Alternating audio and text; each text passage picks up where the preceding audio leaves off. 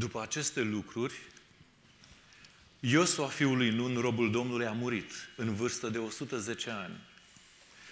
L-au înmormântat în ținutul care căzuse la împărțeală în Timnat Serach, în muntele lui Efraim, în miază noapte, la miază noapte de muntele Gaș.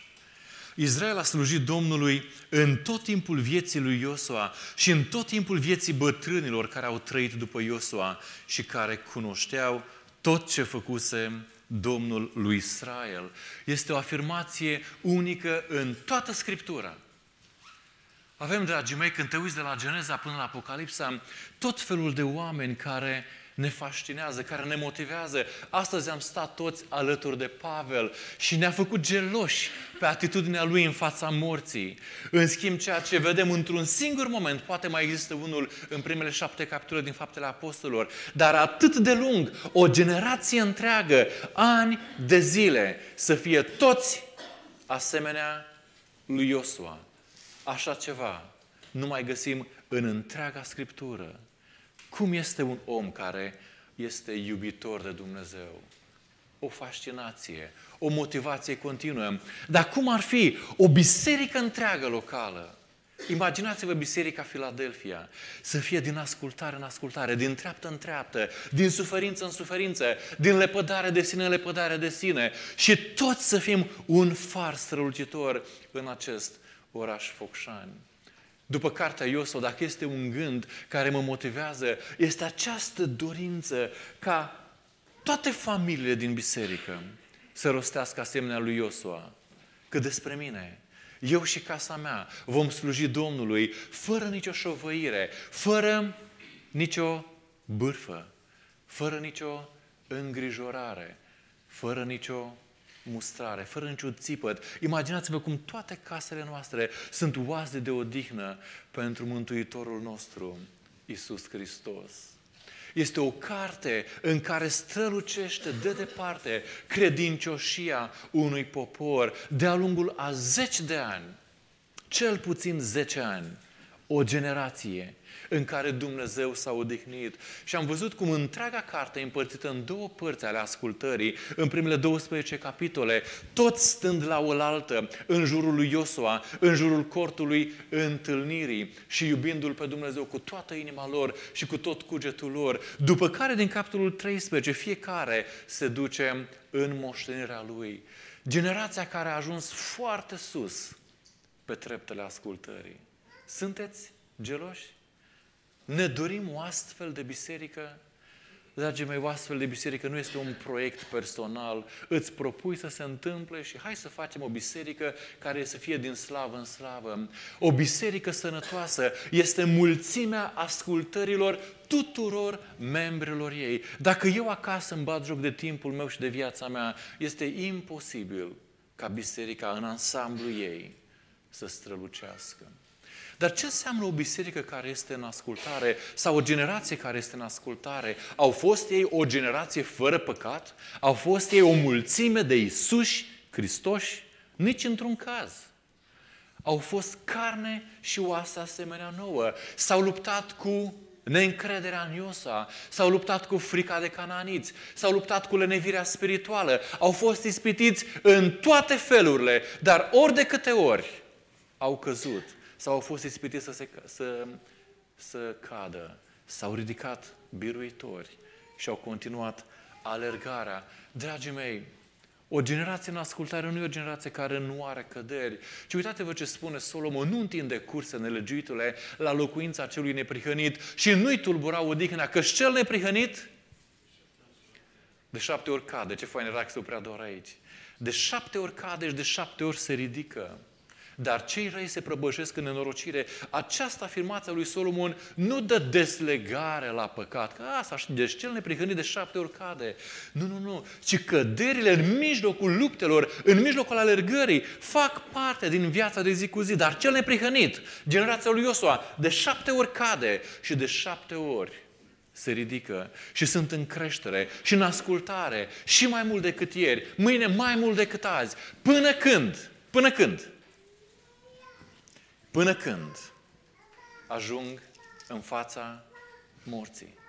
Iar în fața morții nu pot să dau nimic altceva decât tot ce am strâns în viață. Nu poate fi o pregătire de o secundă. Azi aflu că mâine voi muri, cancer limfatic în trei luni, te-a și uitat omenirea. Afli azi că mâine vei muri și zici, ah, de acum ce fac? De acum mă pregătesc pentru moarte. Nu se poate.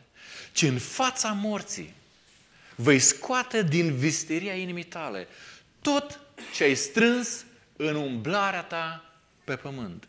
Tot ce ai strâns în alergarea ta până în momentul respectiv. Nu este ultima pregătire, ci noi astăzi și ce facem prin modul în care mergem acasă, prin ceea ce facem acasă, prin ceea ce facem diseară, prin cum ne petrecem toată săptămâna care urmează.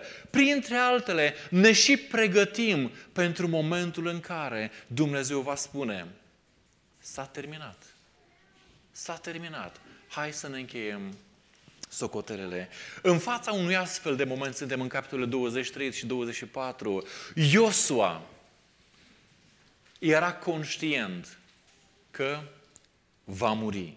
Și vă invit să citim primele versete din capitolul 23 până la versetul 8.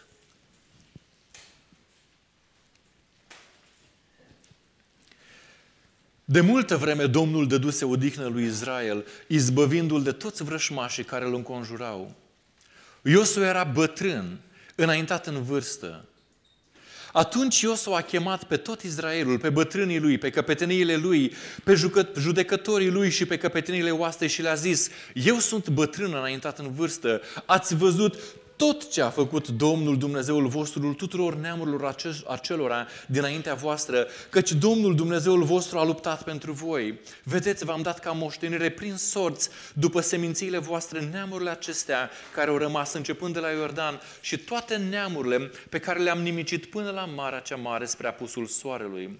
Domnul Dumnezeul vostru le va izgoni dinaintea voastră și le va alunga dinaintea voastră și voi le veți stăpâni țara, cum a spus Domnul Dumnezeul vostru. Pune puneți-vă toată puterea ca să păziți și să împliniți tot ce este scris în cartea legii lui Moise, fără să vă abateți nici la stânga, nici la dreapta.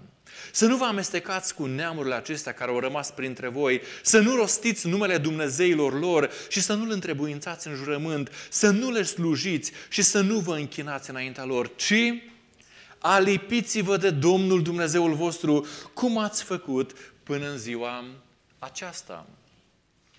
Suntem în fața morții alături de Iosua. Era atât de conștient că mai sunt câteva zile, poate câteva luni. Și toată săptămâna aceasta m-am gândit, în momentul în care aș afla despre moartea mea, cam cât aș vorbi despre ea? Cam cât m-aș lamenta? Cam cât aș striga la Dumnezeu asemenea lui Ezechia? Mai dă zile. Când te uiți în capitolele 23 și 24 sau în 2 Timotei, capitolul 4, o singură afirmație a lui Pavel despre moartea lui.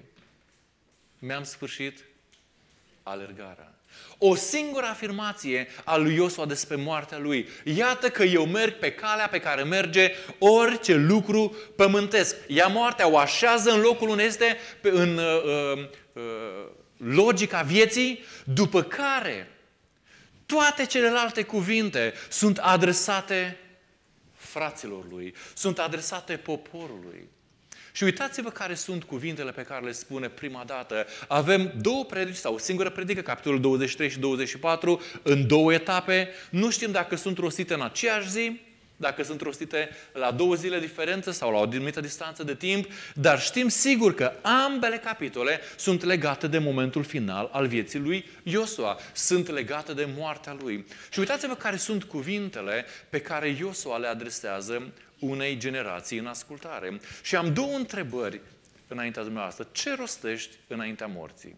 Care sunt preocupările tale înaintea morții tale? Și a doua întrebare este, ce spui unei generații care a fost din ascultare în ascultare până în momentul respectiv. Am înțeles, Iosua este preocupat de frații lui, dar frații lui sunt frați care merg bine, care au mers din slavă în slavă. Așa cum am văzut în ultima afirmație din cartea Iosua, au fost din ascultare în ascultare. Au căzut, s-au ridicat și au mers mai departe și nimic nu i-a dat înapoi. Ce cuvinte rostește unei astfel de generații?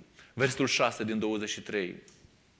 Puneți-vă toată puterea ca să păziți și să împliniți tot ce este scris în cartea legii lui Moise, fără să vă abateți nici la dreapta, nici la stânga. Dar Iosua, nu asta au făcut ei până acum? Nu asta a făcut întregul popor în fața căruia ai stat până acum. N-au stat ei aproape de legea lui Dumnezeu, n-au căutat ei să împlinească toate cuvintele acestei cărți. Mai mult, versetul 11. Vegheați, dar cu luarea minte asupra sfârșitelor voastre, ca să iubiți pe Domnul Dumnezeul vostru. Și aceeași întrebare. Dar nu asta au făcut ei până acum? Nu acesta este verdictul autorului la finalul cărții. Mai mult, Iosua spune, alipiți-vă de Domnul. Întărește-te numai și îmbărbătează-te, lucrând cu credincioșie după toată legea pe care ți-a dat robul meu Moise. Nu te abate la ea nici la stânga, nici la dreapta, ca să izbutești în tot ce vei face. Cartea aceasta a legii să nu se depărteze de gura ta, cugeta asupra ei zi și noapte căutând să faci tot ce este scris în ea. Vă amintiți de primele versete din capitolul 1? Iosua era, după o perioadă foarte bună, trecuse prin o grămadă de încercări, o grămadă de momente în care a stat aproape de Domnul și a ascultat. Țineți minte momentul din Exod 32-34, când Moise alături de Domnul stă și nu păcătuiește, dar poporul tot se duce în destrăbălare și el singur pe munte stă și ține un sabat de 40 de zile. Și când vine în fruntea poporului, Dumnezeu are o singură poruncă. Cartea aceasta a legii să nu se depărteze de gura ta. Cuget asupra ei zi și noapte căutând să faci tot ce este scris în ea. Oare la voia întâmplării, înainte de moarte, când se uită la frații lui, el rostește cam aceleași cuvinte? Puneți-vă toată puterea ca să păziți și să împliniți tot ce este scris în cartea legii lui Moise. Aceeași afirmație, fără să vă abateți la stânga și la dreapta. Dragii mei, Iosua, știți ce încearcă să facă? Tot secretul vieții lui, al ascultării de zi cu zi, să-l lase ca o moștenire fraților lui, care mai aveau de trăit, poate ani pe pământ. Și în momentul în care el se uită la frații lui, la generația care stătea înainte, el știa un adevăr. Nu contează cât de sus ai ajuns pe scara ascultării. Este cineva de aici care e în creștere? Da, bănuiesc că suntem în creștere. Sunteți mulțumiți cu nivelul la care ați ajuns? Dar de ce? Pentru că comparația trebuie să fie între mine și Mântuitorul nostru Isus Hristos.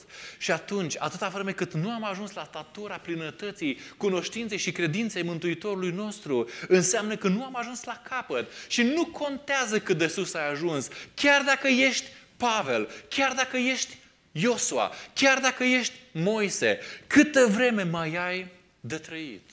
Trebuie să lupți să te alipești de Domnul. Cartea aceasta a legii trebuie să fie principala ta preocupare până la ultima suflare. Dar de ce lucrurile sunt atât de serioase, Andra? Nu cumva exagerăm, stăm prea uh, ancorați în aceste afirmații.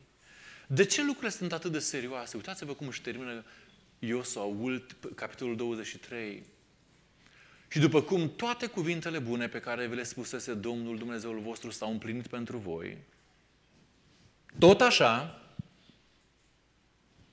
Domnul va împlini față de voi toate cuvintele rele, până vă va nimici de pe fața acestei țări bune pe care v-a dat-o Domnul Dumnezeul vostru.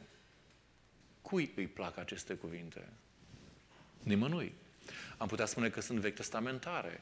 În Evrei, capitolul 10, grozav lucru, spune autorul credincioșului Nou Testamentar, grozav lucru este să cazi în mâna Dumnezeului cel viu. Iosu este conștient că atâta vreme cât nu am pus mâinile pe piept, nu suntem în siguranță. Și singurul spațiu, singurul cadru al siguranței noastre, știți care este? Azi mai bine decât ieri. Mâine mai bine decât azi. Poi mâine mai bine decât mâine. Și pentru a putea intra în această creștere spirituală, prima preocupare a zilei, frate Gheorghiță, nu trebuie să fie alta decât apropiere de Dumnezeu, alipirea de Domnul. Și singura cale pe care o știu eu în zilele noastre este cartea aceasta a legii, care trebuie să nu se depărteze de gura noastră, trebuie să nu se depărteze de inima noastră, trebuie să cugetăm asupra ei zi și noapte, căutând să facem tot ce este scris în ea. Este o minciună a celui rău care mișună în mințile noastre. Suntem în nou legământ, suntem în har și Dumnezeu nu va risipi El ceea ce a mântuit. Dragii mei, după cum El ne-a mântuit și ne-a smuls din moarte la viață și l-a dat pe Fiul Său de dragul nostru, dacă facem stânga împrejur, tot așa, tot așa, se va uita în ziua aceea la Same și îi va spune, du-te de la mine, blestematule, în focul cel veșnic. Niciodată nu te-am cunoscut. De aceea trebuie să rămânem aproape de El. Să nu fim liniștiți că acum 20 de ani ne-am născut din nou și de atunci a început o alergare așa și așa lângă El. Să nu ne mulțumim cu puțin din Dumnezeu. Cartea Iosa este o chemare la a dori cât mai mult din El, cât mai mult în fiecare zi. Să nu te mulțumești, indiferent dacă ai început să te ridici pe scara ascultării peste cei din jurul tău și prin comparație ți se pare că ai atins niște culmi firave. Niciodată nu este de ajuns până nu vom ajunge toți la statura plinătății Mântuitorului nostru. Nu contează cât de, ajuns, cât de sus ai ajuns pe scara ascultării. Cartea aceasta a legii trebuie să fie principala ta preocupare. Principala ta preocupare, dragii mei. Astfel Iosua a ajuns să aibă această atitudine în fața morții. Nu altfel, nu pentru că a spus o rugăciune miraculoasă cu două zile înainte de a afla că va muri, așa s-a pregătit pentru momentul morții. Așa putem asista la o generație care ne stârnește gelozia, cum a fost generația lui Iosua. Fiecare în casa lui, în familia lui, au avut, fiecare a avut o singură preocupare. Cum să mă alipez de Domnul? Cum să-L cunosc pe El? Cum să cunosc puterea învierii Lui? Cum să cunosc părtășia suferințelor Lui? Cum să mă fac asemenea cu moartea Lui? Și atunci când va veni moartea, dragii mei, va bate la ușa existenței noastre, nu-mi va tremura inima nu mă voi teme de niciun rău. Pentru că tocmai pentru acel moment m-am pregătit în fiecare zi, alipindu-mă de Domnul. Alipiți-vă de Domnul, spune Iosua în prima parte a predicii lui. Să nu aveți altă preocupare. Cu siguranță că aveți case, aveți vii, aveți vite, aveți o grămadă de activități zilnice toate sunt trecătoare, toate vor rămâne aici. Spune Iosa printre rânduri fraților săi scumpi. Principala voastră preocupare după ce mor eu, până când veți închide ochii. Cosmin care? Alipiți-vă tare de Domnul. Pentru că lucrurile sunt foarte serioase și alipirea de Domnul este sarcina fiecărui credincios în fiecare zi. Iar lucrurile sunt foarte serioase pentru că suntem într-un război spiritual. Câte lucruri ne-au furat ochii și inima săptămâna trecută? Multe.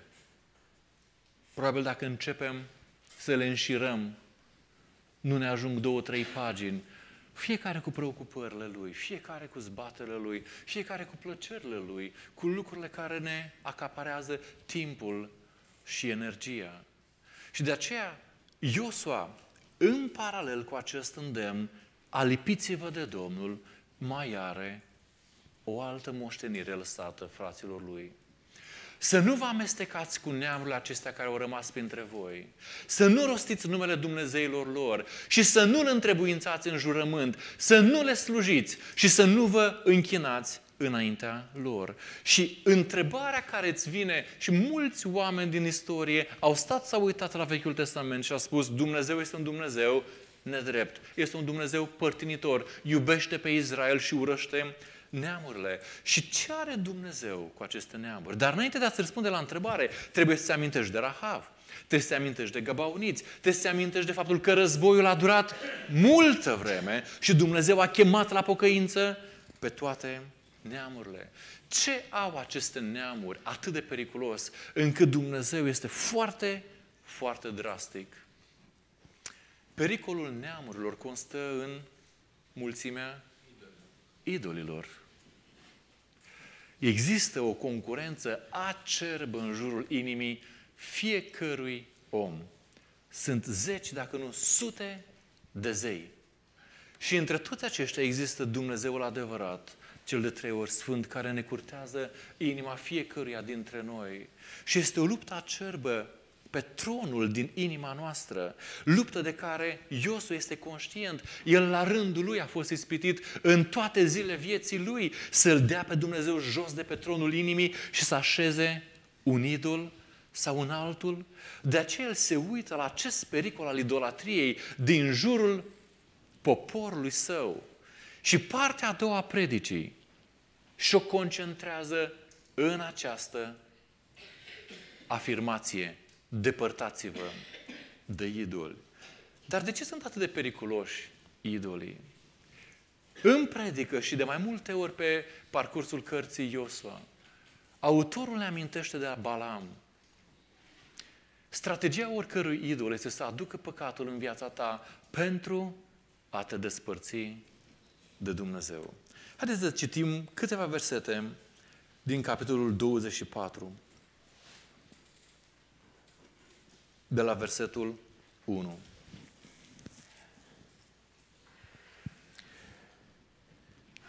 Iosua a adunat toate semințile lui Israel la Sihem și a chemat pe bătrânii lui Israel, pe căpeteniile lui, pe judecătorii lui și pe căpeteniile oastei. Ei s-au înfățișat înaintea lui Dumnezeu. Iosua a zis întregului popor, așa vorbește Domnul Dumnezeului Israel, părinților voștri, Părinții voștri, Terah, tatălui Avram și tatălui Nahor, locuiau în vechime de cealaltă parte a râului, Eufrat, și slujeau altor Dumnezei.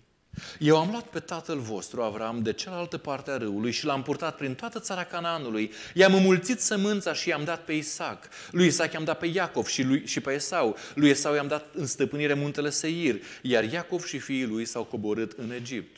Am trimis pe Moise și pe Aron și am lovit Egiptul cu minunile pe care le-am făcut în mijlocul lui. Apoi v-am scos afară din el. Am scos pe părinții voștri din Egipt și ați ajuns la mare. Egiptenii au urmărit pe părinții voștri până la Marea Roșie cu care și călăreți. Părinții voștri au strigat către Domnul și Domnul Dumnezeu a pus întuneric între voi și egipteni. A adus marea înapoi peste ei și i-a acoperit. Ați văzut ce am făcut egiptenilor și ați rămas multă vreme în pustie. V-am adus în țara amoriților care locuiau dincolo de Iordan și i-au luptat împotriva voastră. I-am dat în mâinile voastre. Ați pus stăpânire pe țara lor și i-am nimicit dinaintea voastră. Balac, fiul lui Țipor, împăratul Moabului, s-a sculat și a pornit la luptă împotriva lui Israel. A chemat pe Balam, fiul lui Beor, ca să vă blastăme. Dar n-am vrut să ascult pe Balam, el v-a binecuvântat și v-am izbăvit din mâna lui Balac.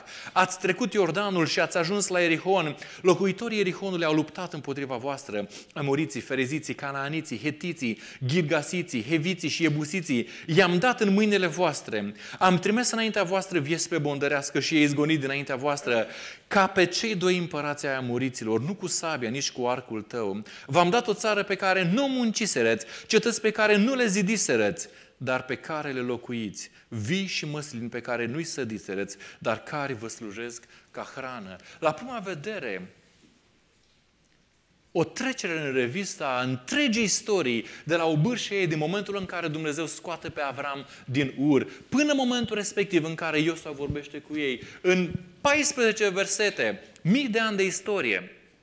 Și întrebarea e ce vrea să facă Dumnezeu? Ai impresia că risipește cuvinte, spune un pic de aici, un pic de acolo, mai spune un pic de aici și te întreb care este strategia lui Iosua. Acum temeți-vă de Domnul și slujiți cu scumpătate și credincioșie. Deci aici voia să ajungă. Acum temeți-vă de Domnul și slujiți cu scumpătate și credincioșie. Depărtați Dumnezeii cărora le-au slujit părinții voștri dincolo de râu și încep să înțeleg. Și în Egipt și slujiți Domnului cu credincioșie. Și dacă nu găsiți cu cale să slujiți Domnului, alegeți astăzi cui vreți să slujiți. Sau Dumnezeii cărora le slujeau părinții voștri dincolo de râu, sau Dumnezeilor amoriților în a căror țară locuiți. Cât despre mine, eu și casa mea vom sluji Domnului. Și încep să înțeleg ce face Iosua. El nu risipește cuvintele, el nu face o trecere în revistă superficială a întregii istorii lui Israel, ci el vrea să ducă cu mintea pe fiecare evreu la toate momentele cheie din istoria lor, pentru a le vorbi despre un singur lucru. Idolii. Idoli dincolo de Eufrat. Da? Erau? Era plin Eufratul. Idoli în Egipt. Citiți acasă Ezechiel, capitolul 20. Și cum descrie momentul când Moise merge acolo. Ezechiel vorbește despre un popor idolatru în Egipt. Și cu luptă puternică cu inima lor, Dumnezeu a smuls idolii Egiptului și i-a deslipit de inima lor. Dar nu doar acolo. Idoli în Canaan. Dar nu doar acolo. Idoli în inimă. Pământul, pot să trag o concluzie după Iosa 24, pământul și inima sunt plini de idoli. Pământul și inima sunt plini de idoli. Și atunci când sunt conștienți de această concurență pe care o are Dumnezeu la fiecare pas al existenței noastre, înțeleg de ce este nevoie ca această candelă să fie principala preocupare. Dragii mei, cum am închis Scriptura? Cum am întors fața de la singurul Dumnezeu adevărat? Știți cine mă curtează cum ies de aici, Florin? Idol după idol. Idol după idol. Și nu vreau să-i numesc, pentru că fiecare în viața lui își cunoaște bătăliile, știe care sunt acele domenii care îl atrag, care îl ațâță, care îl stârnesc împotriva lui Dumnezeu, care cer mai multă slujire decât o facem înaintea lui Dumnezeu. De aceea Iosua, și când ne uităm la restul capitolului 24, el lucrează împreună cu Duhul Slavei și recrează momentul din Exod 24, moment în care poporul lui Dumnezeu a spus vom face tot ce a spus Domnul și îi provoacă și le spune voi nu veți sluji Domnului. Îi spun, ba nu, noi vom sluji Domnului. El spune, nu, voi nu veți sluji Domnului. Ei și mai supărați, ba nu, noi vom sluji Domnului. Și Iosua vrea să lase acest moment ca un stâlp de aminte, de aminte extraordinar, de aducere aminte extraordinar de important pentru tot restul vieții lor. Iosua vrea să le spună doar două lucruri. Alipiți-vă de Domnul și depărtați-vă de idol. Și cât de important este că acest lucru îl face în momentul morții lui. Dragii mei, momentul morții unor oameni ne rămâne adânc întipărit în inima noastră, în mintea noastră. Când îți amintești cum a murit cu tare sau cu tare, dacă a murit rău, până la sfârșitul vieții îți aduce aminte de el. Dar dacă ultimele cuvinte sunt Iisuse Hristoase, te iubesc. Am slujit pe Dumnezeu, cum a spus Pavel, în toată viața mea. Acele cuvinte îți rămân întipărite până la sfârșitul vieții. Și aceasta este strategia lui Iosua. Vrea ca momentul morții lui să nu fie o descriere a propriei lui drame, că urmează să despartă de trup, ci momentul morții lui să fie un stâlp de aducere aminte pentru toți cei care nu-și terminaseră încă alergarea. Și poporul exclamă într-o bucurie extraordinară vom face tot ce a spus Domnul. Și vorbeau foarte serios. Și o să ia și încheie legământ din nou între ei și Dumnezeu. Dar lupta pentru ei urma să continue. două predici are, sau o singură predică în două etape. Iosua înaintea morții. Ce îi spune fraților tăi înainte să mori? Două lucruri. Alipiți-vă de Domnul și depărtați-vă de idoli.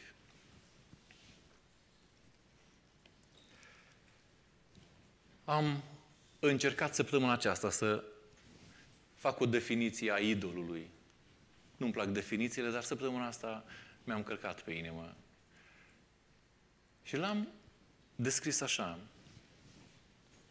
Un aspect din viața mea care nu ajută la înaintarea împărăției, care este în exclusivitate pentru mine, care îmi consumă timp și energie, care mă împiedică să slujesc Biserica Domnului Isus și care mă depărtează de apropierea de Dumnezeu prin Scriptură. Există astfel de lucruri în viața noastră? Care e soluția?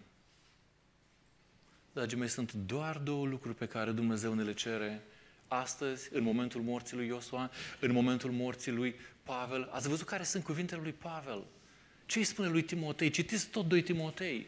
Nu îi vorbește nimic despre ce casă are, ce avere are, ce uh, carieră să facă, ci tot ceea ce ai primit Timotei. Casa ta, averea ta, inteligența ta, timpul tău, energia ta, în colaborare cu Duhul Sfânt. Toate, pe toate, folosește-le pentru înaintarea împărăției, pentru slujirea bisericii. Am făcut această afirmație la grup și s-au stârnit foarte multe discuții și întrebarea, nu cumva suntem la un pas de legalism? Cu siguranță că da. În orice zi a vieții noastre suntem la un pas de legalism și să începem să dăm porunci și direcții și să spunem aia trebuie făcută, trebuie să renunțăm la televizor, nu mai trebuie să mergem la fotbal, o grămadă de lucruri care nu vin de la Dumnezeu. Nu la asta suntem chemați. Nu suntem chemați să ieșim din lume, ci rămânând în lume, cu televizorul în casă, mergând la fotbal, mergând la serviciu, având familie, având toate lucrurile pe care Dumnezeu le-a pregătit. În toate aceste contexte, să ne alipim de Domnul și să lucrăm la înaintarea împărăției. Și, dragii mei, idolii din inimă, idolii care nu se văd, sunt mult mai periculoși decât cei pe care îi dai jos de pe perete. Idolii fizici ce ai făcut cu ei? E luat, te dus în curte, le-ai dat foc și s-a terminat cu ei. Dar ce faci cu idolul din inima ta? Sau din inima mea? Din viața mea? Care mănâncă energie, timp. Dragii mei, dacă vrem în fața morții să avem cuvintele lui Pavel sau ale lui Iosua, cartea aceasta a legii trebuie să nu se depărteze de gura noastră. Să se cugetăm la asupra ei zi și noapte. Eu nu cred că există vreo justificare corectă înaintea lui Dumnezeu spunând n-am timp. Nu există așa ceva ci există doar idoli care ne mănâncă timpul și energia și această carte a legii este lăsată la diverse. Vrem să avem aceleași cuvinte ca ale lui Iosua înaintea morții? Vrem să avem aceleași cuvinte ca ale lui Pavel înaintea morții? Înaintea morții lui, Mântuitorul nostru, ne lasă ceva asemănător cu cuvintele lui Pavel și ale lui Iosua. Suntem la 12 ore de moarte, de crucificare. Și stătea cu ucenicii în camera de sus și frângea pâinea, se pregăteau să bea vinul. După ce a vorbit astfel, Iisus a ridicat ochii spre cer și a zis, Tată, iarăși, a sosit ceasul. Parcă este Iosua Parcă este Pavel. Numai că el era un pic mai complicat. Proslăvește pe fiul tău, ca și fiul tău să te proslăvească pe tine. După cum i-ai dat putere peste orice făptură, ca să dea viața veșnică tuturor acelora pe care i-ai dat tu. Și tot spunem că am îmbrățișat această viață veșnică extraordinară. Dar uitați-vă care este viața veșnică. Viața veșnică este aceasta, să se te cunoască pe tine singurul Dumnezeu așezat pe tronul inimii, singurul Dumnezeu adevărat și pe Iisus Hristos pe care l-ai trimis tu același tipar în fața morții, preocupat pentru ucenici și pentru noi toți ceilalți. Dar singura predică pe care mari oameni ai credinței o au înaintea morții este aceasta. Alipiți-vă de Domnul, singurul Dumnezeu adevărat și depărtați-vă de toți idolii care sunt în existența voastră. Dragii mei, așa să ne cercetăm fiecare dintre noi și așa să întindem mâna la masa Domnului, pe care l-a pregătit-o dându-și însăși viața lui pentru